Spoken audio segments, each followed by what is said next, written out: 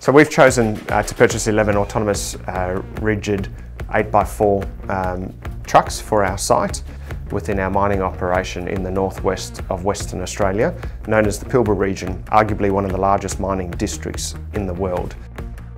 We really believe in right fleet mining um, and the solution by Scania certainly suited our operation.